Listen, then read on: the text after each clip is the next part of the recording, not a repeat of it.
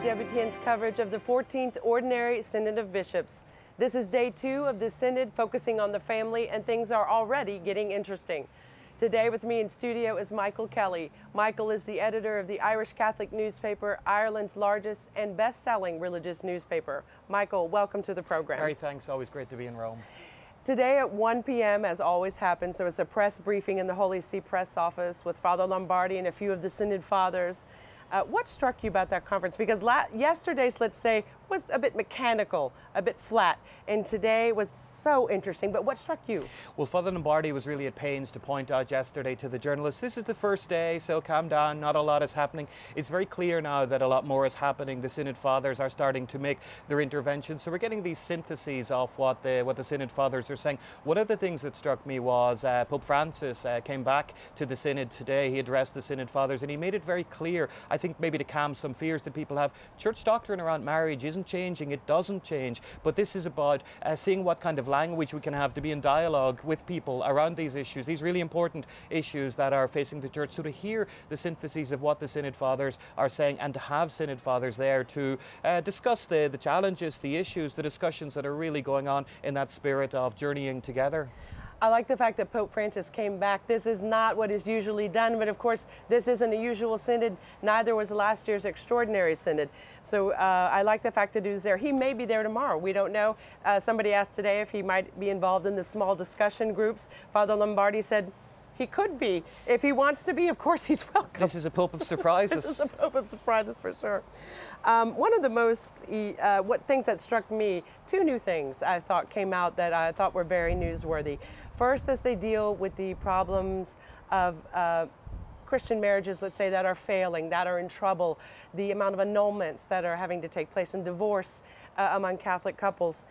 Something that they came up with was a new catechesis for marriage. This is an idea that's just being floated. So, already on day one, the Synod Fathers are floating this idea of coming up with a new catechesis for marriage. This is to help prepare the couples mm. before they get married and then also afterwards. And there's a big emphasis on that now. We have to accompany the couples after they get married as well because families are splintered, community is not what it was. Uh, the priests as well, didn't they? They spoke of the sure. priests having to be prepared uh, to accompany these families in a special way. Very much so. And this is something that I think the church is reflecting very deeply about that marriage is not a moment in time, marriage is not this ceremony, marriage is a lifelong commitment, and that's something that we have to allow couples to uh, have the space to prepare for and to discuss the issues that are going to be really part of marriage because the um, a generation ago, perhaps we could have assumed that Catholic couples shared the Church's vision of marriage. Well, you know what? Catholic couples nowadays, they're subject to the same cultural influences as other places. So we now have to say, look, this is the Church's understanding of marriage. Journey with us in this understanding, and not just before getting married, also after getting married, in those few key early years when those challenges come up uh, financial challenges, all kinds of practical challenges, because that's one of the things that's interesting about this synod as well. They're talking about a lot of the practical challenges. Family and marriage has been under understood in a really practical way, as well as the theological insights, of course, that we're getting. We're getting these really practical insights about the challenges facing young couples and what the church can do to help them. This is one of the problems that the Synod Fathers will be tackling. The other one I thought was that was interesting is an initiative for the Jubilee of Mercy, which we know is beginning December 8th. They brought up the idea that the Synod Fathers had discussed the possibility of reinstating what is kind of known as the third way of confession. Mm. And this is general absolution, which means you don't confess your sins individually to the priest you as a group can be absolved. And this was originally instituted for soldiers going to war, so they could be generally absolved before they head off to battle. Sure. They're talking about bringing that back. This is something new. Absolutely. You know very well that for Pope Francis, mercy is a key dynamic of his papacy. That line, you know, in his first week as Pope, he said, God never tires of forgiving us. It is we who tire of asking for his forgiveness. You know what? I think some of the Synod Fathers have a sense that there may be some people, because of their past lives, because of sins in their lives, they feel that they're not worthy of God's forgiveness they may feel that they're not welcome at the sacrament of confession as it is. Now, of course, that's not true. Everyone is always welcome at the sacrament right. of confession. But at a psychological level, this third way perhaps is something that some of the Synod Fathers feel could help some of those people, could help restore them to the church, restore them to the community so that they could get back on an even keel and get back to going to confession in the conventional sense, but just this, this one moment, perhaps during the year of mercy, this one general Right. absolution could clear up so much for them, so much hurt, so much heartache, so much feeling of alienation. It's so interesting to hear already on day one so many new ideas coming out from the Synod Fathers, which again are from all over the world. One of the uh, presenters at the press conference today, who I thought had a lot of interesting things to say, was Archbishop Durocher. He is the president of the Canadian Bishops Conference. Yeah, I thought he was one of the most powerful speakers. Um, what I wanted to do is play a clip for you right now of something he said during the press conference. Let's listen to that together, and I want to get your reaction. I to the bishops is um, there is a great unanimity in recognizing that there is a growing distance between the cultural vision of marriage and family life and what the church proposes and teaches um, growing out of the teaching of Jesus. And that growing gulf um, involves, I guess, um, different ways of uh, reaction. Uh, and one reaction is to emphasize what the, the teaching is, for fear that as the culture moves away from that vision, our own understanding gets diluted. Uh, the other fear is that we lose contact with that culture and that we close in on ourselves and become a kind of a, a ghetto or a sect that no longer has an impact in culture. And all the bishops, I think, agree that the teaching of the church coming from Jesus is a gift for the world. It's not just for a select few. Michael, he brought up that kind of two sided coin of presenting the truth of the church's message, um, but also risking alienating the culture of which we're trying to dialogue with. What do you make of those remarks? That's the challenge, isn't it? I think he's captured the key challenge that a lot of the Synod Fathers are saying, both publicly and privately. This idea that all of the Synod Fathers, the starting point here is to uphold the Church's beautiful Exactly. teaching around Yeah. marriage and human sexuality.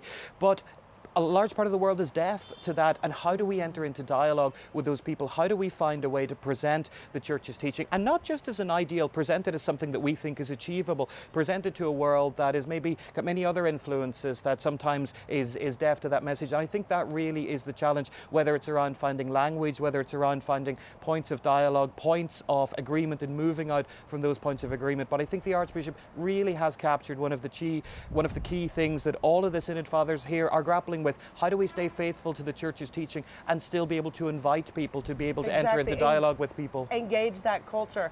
Uh, the next clip I wanted to play for you uh, is the some of the problems that the bishops are having during the synod is that they want the same things, but their way of getting there is very different. And so I think that sometimes results in problems or what seems like disagreements. Let's listen to how Archbishop Durocher put it today during today's press conference. The bishops will emphasize the teaching, and others will emphasize No. the importance of the dialogue.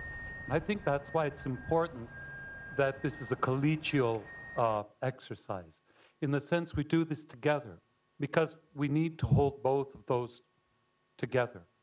I think Cardinal Erdo's talk was a, a beautiful and classical presentation of the church's teaching. And I think that there are other bishops who are saying this is important, we need to hold on to this. Now, how do we enter into dialogue with this world? I think that's the problem facing the bishops worldwide. We know that 72 stood up today and gave their addresses, again, representing every continent, as Father Lombardi pointed out during the press conference. Um, this is the problem. Universally, how do we engage? And I think that's what they're here to discuss because the secularism has taken over so many families are being ripped apart, and the synod is about the family. I think that's why Pope Francis called the extraordinary synod on the family. We've only had three in the church's history.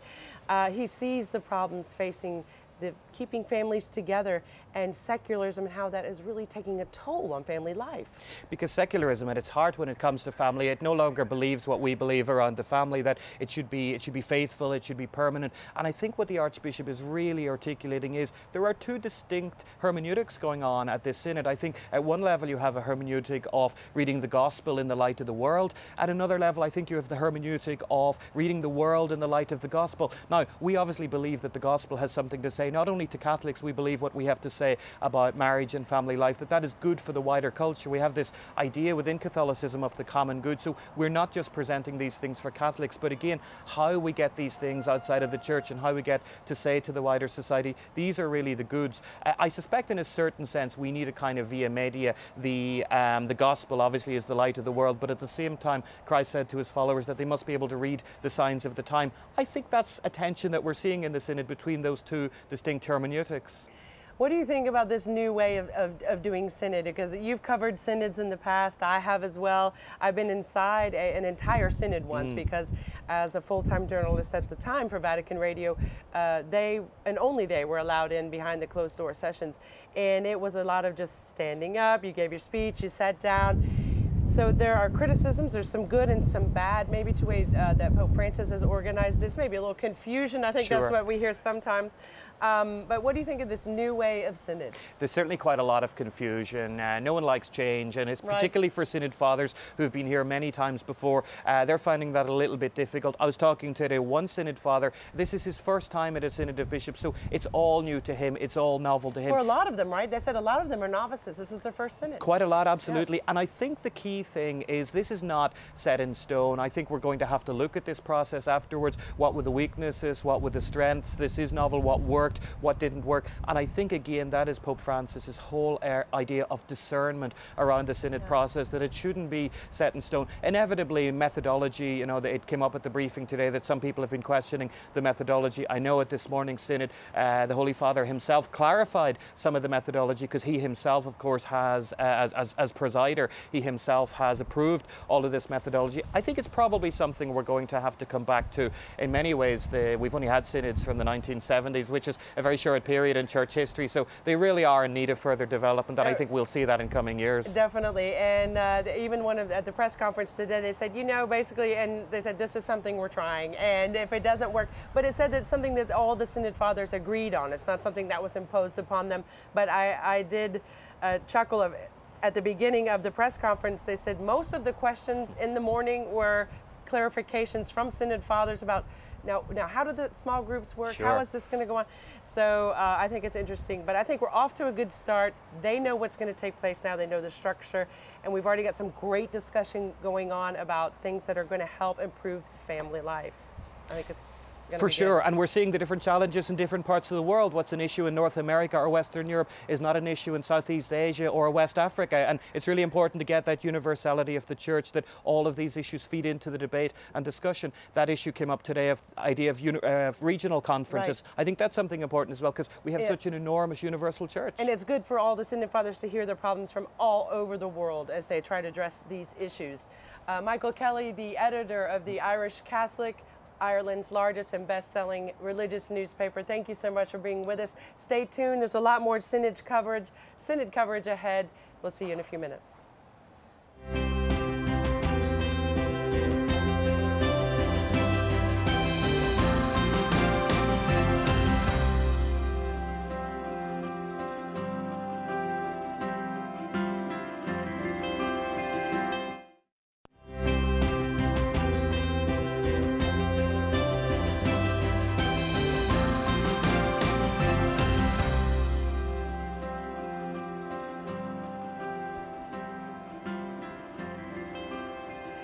Welcome back to EWTN News' continuing coverage of the Synod on the Family.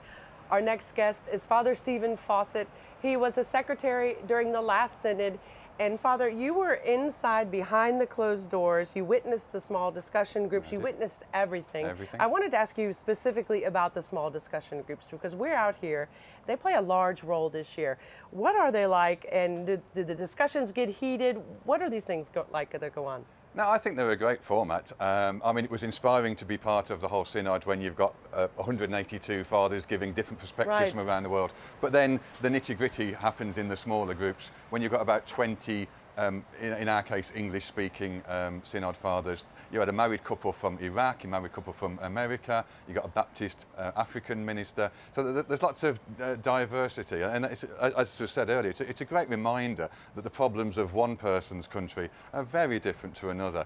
Um, I have to say that there wasn't, there wasn't tension in that sense. There, there, was, I think sometimes when we look with the eyes of faith, we, we want drama. When we look with the eyes of uh, faith, Sorry, we we see dynamism, and that's Right, what I, that's what right. I'd say. We got we got dynamism. You have a lot of dynamism, not, did, not we did. conflict, and and just different views of opinion. It doesn't mean that they're in conflict with Not, one not another. at all, and that's, Yeah, yeah. that's the danger. of I think Yeah. what we're looking for always is complementarity rather than conflict, uh, and it's it's more dramatic, you know, to be a sort of a Jeremy Kyle and look for conflict. But How, how long think- do they talk? How long do these things go on? So they sit around a table. How long does that go on? Um, normally it's two, two, two and a half hours in the morning and Wow. similar in the afternoon, and I'm going to have a break in the middle. Um, you know, there's always refreshments going on.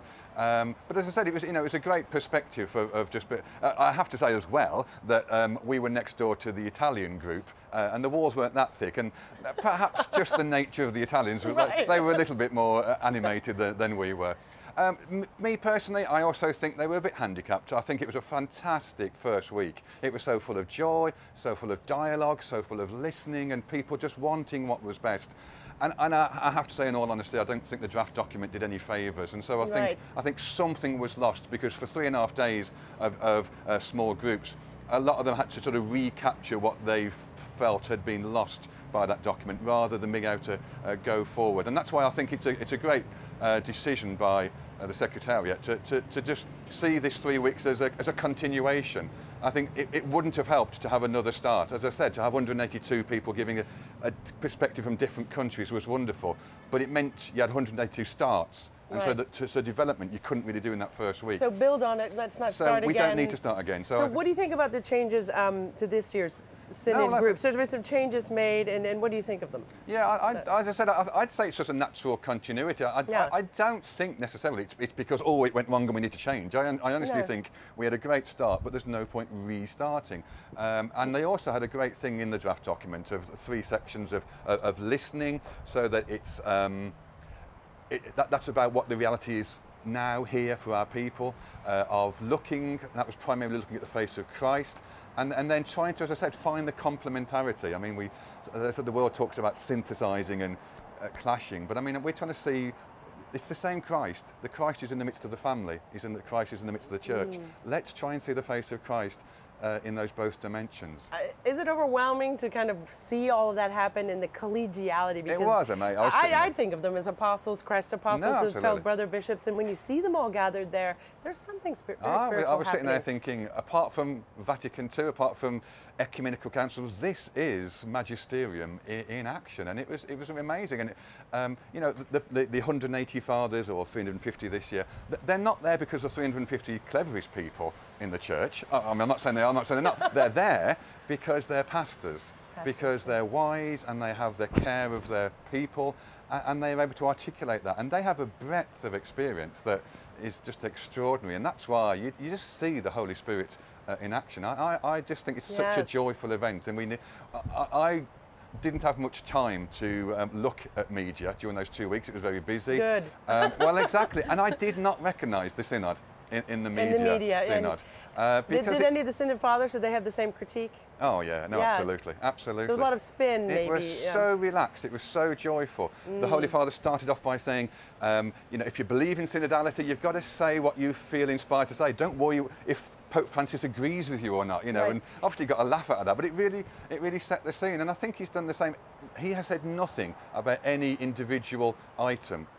What he said is, let's get the process right. Right. And we all play our own part. And he said it's anchored in the Holy Spirit and, and Mm. himself. And he's, he's, he's happy to play his part. What do you think about him showing up even on day two? It's so typical of our. It's isn't it? right, You know? isn't it? Yeah, he probably drove over in his Fiat uh, on the way. Um, but you know, I thought it was great of him to be there with his brother bishops because he does insist on being one of them. Yeah. A very uh, He talks about getting your hands dirty, and, and that's it- what he does with himself. the sheep. I know somebody said, "Will will he be at the the small groups?" And they're like, "Probably." I mean, they don't know. I love it how even the the the people in charge are like, "We don't know. Don't he know. could show up at any time." And isn't that wonderful? Yeah. Father, thank you so much. Father Fawcett from the Archdiocese of Birmingham in the UK, who was the secretary during last year's synod. Thank you so much for joining us. Now I want to turn to an interview that our EWTN Rome Bureau Chief Alan Holdren did recently with Bishop Conley from Lincoln, Nebraska. He spoke with him about his expectations for the synod. Let's listen. Your Excellency, the Synod is just beginning here in Rome. Uh, you're looking on the Synod as an, as an outsider. You're not one of the Synod fathers, but you are a bishop, and you're particularly interested in this, I'm sure, as the head of a diocese. What are your expectations for the synod on the family? My hope is that the synod will, um, the synod fathers will, and the Holy Father together will uh, be able to um, present the church's teaching uh, in a, a, very clear, beautiful way with new enthusiasm, new impulse, new, you might say, um, kind of like the new evangelization, you know, not changing anything because we have such a beautiful teaching on the family, whether we talk about marriage or family life. Um, to, to present that again with, uh, with, um, with all the beauty and the splendor and the truth that our teaching has, uh, without you know, minimizing the tremendous challenges and difficulties that families face today through secularism and through the sexual revolution and all the other things that fall from that divorce, abortion, contraception, all those issues, which I think go to the heart of uh, the, the challenges of the family today. But because the truth of the family, as it's been presented in church teaching and through scripture and re- revelation, um, we don't need to change that. You know, there's no contradiction with regard to mercy and pastoral ministry and the truth of Catholic doctrine. And looking on at the last installment of the Synod uh, from Lincoln, Nebraska, hearing what was coming from Rome, do you feel like that, that narrative, those ideas of, of protecting uh, Catholic doctrine, the family, uh, promoting the family as a positive thing in this world, do you think that was done through the last installment of the Synod? Or is that something that uh, perhaps wasn't transmitted to the faithful? You're talking about last fall? Yeah. I think that the Extraordinary Synod, um, and perhaps this was good, that um, you know raised a lot of the questions that uh, and the challenges, uh, uh, and and laid them all out on the table. And um, but I hope that this synod will present the church's teaching um, with a real positive light. I mean, our teaching is not a series of no's; it's a it's a series of yeses. Yeses to the beauty of God's gift of love, the beauty of spousal uh, self giving in family, uh, the beauty of children and the gift of children. So I, I, hope, my hope is, and I know my people as well, because when we made our presentation uh, from the Diocese of Lincoln, we listened to families, what they expect, what they want from the Synod.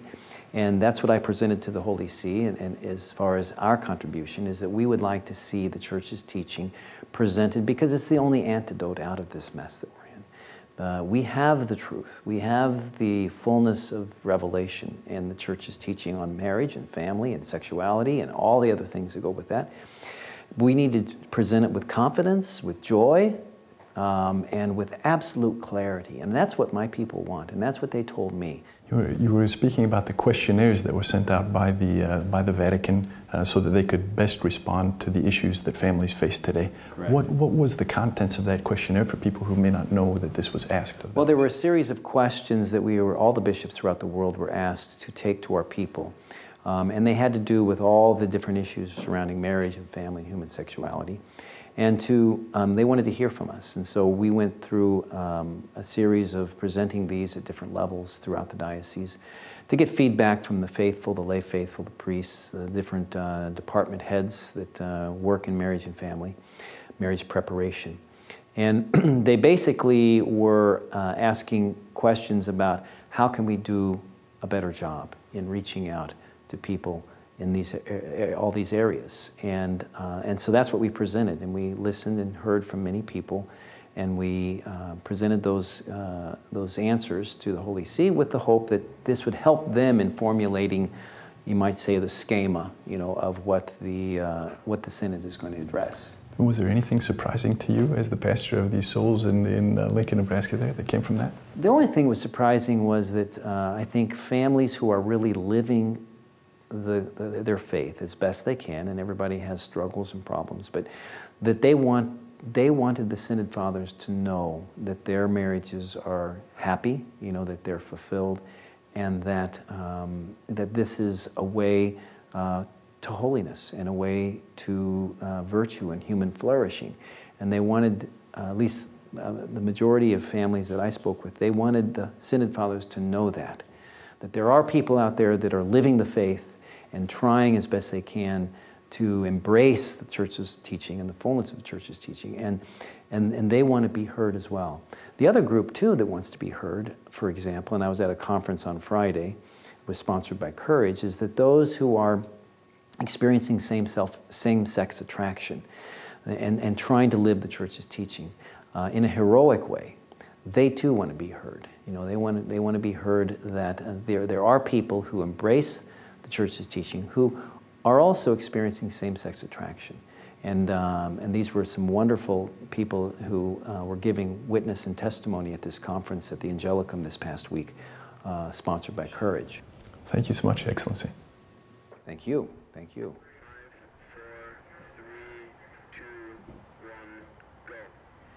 a great interview there with Bishop Conley, and we thank him for his time uh, for that interview, for our coverage. We also like to thank our guest today, Michael Kelly of the I- I- Irish Catholic, and Father Fawcett from the UK, who joined us, who was inside last year's synod and gave us all of that insight.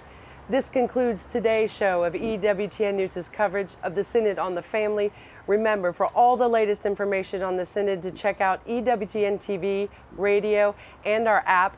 And for the latest programming information, check out our website at EWTN.com. And follow us on Twitter and send us your questions and comments and use the hashtag EWTN Synod. So, hashtag EWTN Synod. Please send us your comments and questions. We're here live in Rome wanting to answer any of your questions and concerns. We'll be back tomorrow with our continuing Synod coverage. I'm Mary Shovlin. Good night from Rome.